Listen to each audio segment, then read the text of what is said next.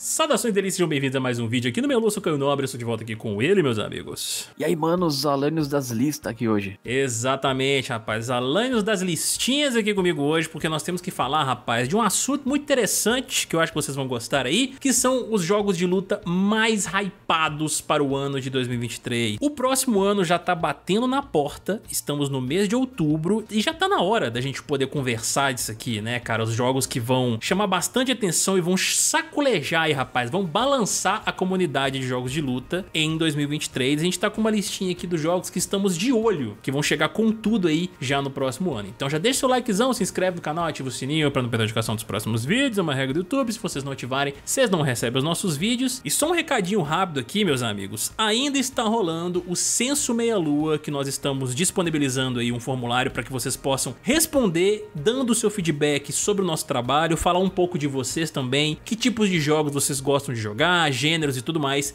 Se vocês puderem dispor aí de uns 2 a 5 minutinhos poder preencher lá, vai ajudar a gente demais, tá aqui embaixo no primeiro comentário fixado. Por favor, meus amigos, deem essa forcinha pra nós. Então, vamos lá, meu querido Alanios, vamos falar aqui do primeiro jogo que nós estamos deveras hypado aí, que apareceu há pouco tempo com um trailer matadeiro com gráficos maravilhosos pra nós, que foi o nosso querido Tekken 8, galera. Sim, nós tivemos aí no State of Play, que fomos pegos de surpresa, né? Um trailer cabulosíssimo mostrando Kazuya e Jin se enfrentando. E uma das coisas que mais chamou atenção nesse trailer, né, Alanis, foi justamente os gráficos. A gente tem algumas coisas de gameplay acontecendo de fundo, né, porque eles misturam cinemática e gameplay, só que o que realmente mais saltou aos olhos foi a evolução gráfica por conta da utilização da Unreal Engine 5. E estamos, sim, muito ansiosos por mais novidades desse jogo, né, brother? Caião, parece que o Harada comenta que ali no modo história é só cinemático, né? Sim. Quer dizer, cinemático não, desculpa. É só gameplay, com os elementos do modo história, né? Eu achei muito interessante porque a Capcom veio com a ideia de mostrar musculatura, né? Esse tipo de coisa. Então você vê o músculo, o bíceps do Rio contraindo tal, essas coisas assim. Aí eles vêm e trazem de uma forma diferente ali com o Kazuya, fazendo de uma forma muito mais impactante e tal. A gente sabe, né? O Harada já admitiu, eles ficam de olho para saber o que tá dando certo, para colocar no jogo deles e fazer melhor, às vezes, né? O que a gente viu de gameplay não é nada muito muito impressionante. É, o impressionante foi realmente mais no visual. Eu tô com muita expectativa do que eles podem trazer de novo, né? Então esse jogo com certeza tá assim na minha, na minha lista de prioridades ali pro ano que vem. Então é isso, meus amigos. Tekken 8 é um dos jogos de luta que estamos muito empolgados por poder ver aparecendo no ano de 2023 com mais informações. Quem sabe até mesmo aí no The Game Awards 2022 que vai rolar em dezembro, eles já não tragam mais informações desse jogo para nós, saca? Então vai ser muito foda e nós precisamos precisamos falar aqui agora, Alanis, puxar um joguinho, na verdade, que tá aí circulando já esse ano há um tempinho. Eles estão lançando demos aí com novos personagens e tudo mais. Um jogo brasileiro, rapaz, que é o nosso querido Pocket Bravery. Sim, um jogo aí que remete a games mais antigos ali, tem seu próprio estilo artístico muito bem empregado, é bonito pra caramba, personagens estilosos e também combos fenomenais que a gente pode fazer dentro do gameplay. O sistema de treino dele também é muito bom, Alanis, com frame data e tudo mais que a gente tem direito para a gente poder entender melhor o esquema de cada um dos personagens. A gente já tá com algumas demos aqui, inclusive, que o pessoal tá disponibilizando pra gente. Nós vamos trazer gameplays dele para vocês em vídeo e em live, eu enfrentando o Alanis e tudo. E com certeza é um dos jogos, assim, que já estão em andamento em 2022, né, com demos e tudo mais. Já tiveram campeonatos dele aqui acontecendo este ano, mas em 2023 com certeza ele vai continuar com tudo e é por isso que nós estamos empolgados para poder ver mais dele no próximo ano, né, Alanis? Ah, sem dúvida. Pocket Brave ele trouxe uma proposta que eu achei bem interessante. Eu, particularmente, gostei muito do gráfico. Me trouxe uma memória nostálgica, porque é um, um bom tempo atrás. Na época do, das revistas de PC que eu colecionava e tal, joguei um joguinho coreano que tinha um gráfico muito parecido, sabe? Com o do Pocket Braver ali. E eu achei muito legal. Eu gosto dessa ideia, eu gosto desse tipo de visual. E o gameplay, ele não é um negócio muito simples, né? Você vai lá, você começa a jogar Você não aprende tudo de imediato ali, não é só sair apertando o botão que as coisas acontecem. É, ele exige um pouquinho de atenção para você aprender as mecânicas e as regras do jogo. Isso conforme você vai aprendendo, né, você vai trabalhando ali, você começa a perceber que o, os caras eles pensaram a fundo ali, sabe? Ele é bem robusto no que dá para fazer. Exatamente, cara. Então aí, ó, Pocket Bravery, mais um joguinho pra gente poder ficar de olho, cara, no ano de 2023 aí com mais atualizações e tudo. Esperar aí o que mais de novidades eles vão trazer pra gente acerca desse jogo e podem esperar conteúdos dele aqui no canal também, que vai ser muito legal. E aí, manos, nós temos que falar de um outro aqui que pode não ser de conhecimento de algumas pessoas, tá? Que é o nosso querido Trajes Fatais. Sim, rapaz, esse jogo aí que deu uma sumidinha uns tempos, mas pelo que a gente tem visto em informações, vai voltar com tudo aí em 2023 também, né, com novas atualizações e tudo mais. E é um jogo, cara, que eu mesmo, em particular, não tive tanto contato. O Alanios mesmo, ele já teve mais, né, brother, assim, jogando demos e tudo, então ele pode falar um pouquinho melhor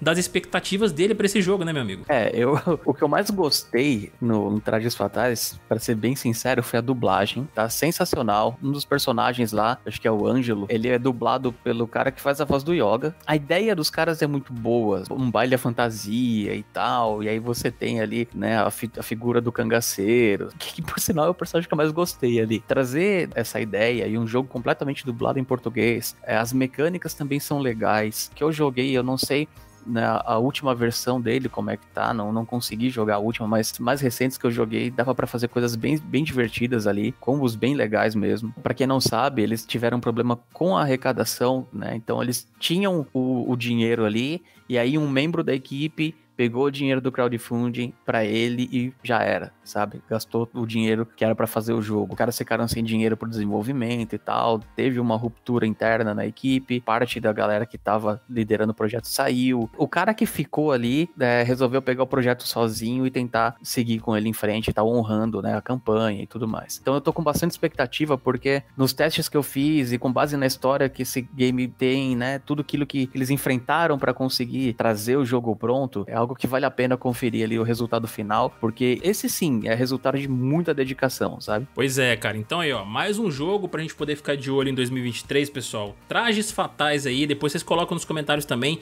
quem já teve alguma experiência com o game, entendeu? Nessas versões demos que o Alan mencionou. A gente vai gostar muito de ver a opinião de cada um de vocês. E um outro aqui que nós não podemos deixar de mencionar, esse aqui tem muita gente hypada pra ele, cara, que é o nosso querido Project L. Sim, o jogo aí baseado na franquia League of Legends de luta, que os caras trouxeram informações pra gente, estão trazendo na verdade, né, aos poucos e estão com um sistema bem foda, bem revolucionário, principalmente em termos de online, pelo que eles apresentaram pra gente, né? E eu acho que vai ser um jogo que vai quebrar demais, assim, vai sair quebrando tudo na verdade, esse é o termo, por conta da forma como eles estão desenvolvendo a parada ali, a forma como eles vão trazer o sistema até mesmo de financeiro dentro do jogo, em termos da gente gastar dentro dele, porque a gente sabe que o League of Legends é um jogo gratuito, a gente não paga pelos personagens e tudo, a gente paga por coisas cosméticas e tudo mais. Embora eles não tenham dado tantos detalhes assim acerca de como isso vai funcionar,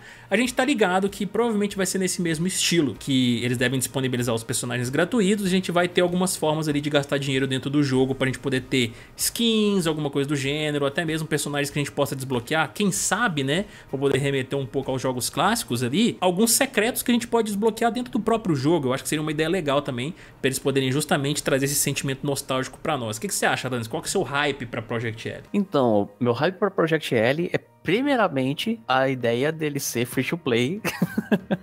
eu quero ver muito como é que vai funcionar isso na mão deles, porque o primeiro jogo que eu joguei, que era free to play, foi Dead or Alive 5 Core Fighters. Isso foi tão sucesso que os seis eles já lançaram direto com essa versão Core Fighters. Vindo de uma empresa que já tá acostumada a lidar com isso, né? Então você fica pensando no que, que os caras vão colocar no jogo, como é que ele vai vir, porque ele vai vir extremamente robusto. Não é meia dúzia de bonecos só, eu acredito. E no final das contas, né, eles sabem como fazer as skins, trabalhar coisas ali de forma que você queira ter e tal. Então eles não precisam apelar para limitação de personagem, na minha perspectiva. Numa empresa que sabe muito bem como fazer isso, né? A gente vai ter um jogaço free to play, ponto fundamental, né? Que quem tá ali ajudando, liderando ali o desenvolvimento são os caras que criaram o GDPO, né? Galera que jogou Mortal Kombat X é o mesmo netcode utilizado lá. A experiência online vai ser bem diferente do que a gente tá acostumado. É isso daí, meus amigos. Então, assim, bora esperar mais novidades de Project L. Eles devem chegar com tudo no ano de 2023. Quem sabe a gente não tem até uma data de lançamento para essa parada, né?